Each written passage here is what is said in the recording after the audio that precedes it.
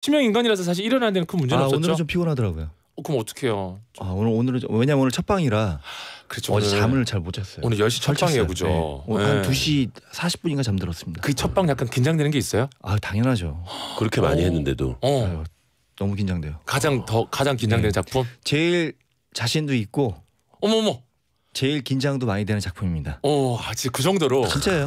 네. 음, 성우 형이 옆에 있기 때문에 든든하죠. 너무 든든합니다. 오늘 10시잖아요. 지금 우리 모든 이거 편성표를 다 아시는 분이에요. 네. 2129번님이 오늘은 베텐 안 들을 거라고. 우리 배성호 씨 또 얘기를 안 할 수가 없는 게 아침 방송 지금 괜찮아요? 네 좋습니다. 어 괜찮아요. 네 사실은 동생이 하는 베텐 출연한 적은 있어요? 아니요 없습니다. 한 번도 없죠. 네네 제가 왜 얘기를 하냐면 어제 베텐 작가랑 통화했어요. 네. 오빠 내일 배성호 씨 나오지? 응, 응 좋겠다. 왜 뭐가 좋아? 우리 거는 안 나와. 아, 형, 안? 형제가 좀 음. 약간 배척하는 분위기예요. 응, 응. 서로. 우리 거는 안, 안 나가는 게 아니라. 배성재 씨가 기겁을 하고 못 나오게 하신대요. 그러니까 사실은 저는 어, 나간다고도 한번 얘기했었어요. 오, 네. 음. 그랬는데 싫다고. 아, 네.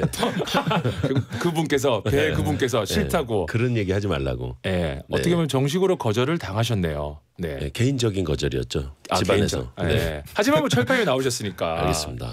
사실 권상우, 배성우 두 배우가 뭉쳤다는 걸로 이미 뭐 미친 조합이다. 네. 그냥 재미있겠다. 뭐 난리 났다. 반응이 좀 뜨거워요. 아, 감사합니다. 네. SBS 금토 드라마 오늘 밤 10시 이제 첫 방송인데요. 일단 제목이 나라라 개천령 줄이나요 이거? 날개 이렇게?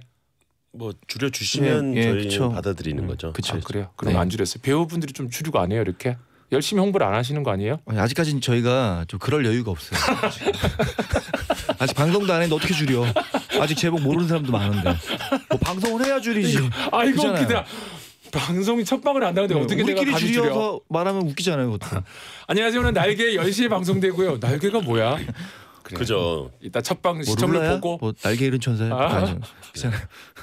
알았어. 그리고 그리고 나라라 상우 씨 지인은 나라라 용가리 오빠 언제 해 네. 이랬다고. 주변에서 아 이것도 지금 나라라 개천령이 더 귀에 익숙해야 되겠군요. 네.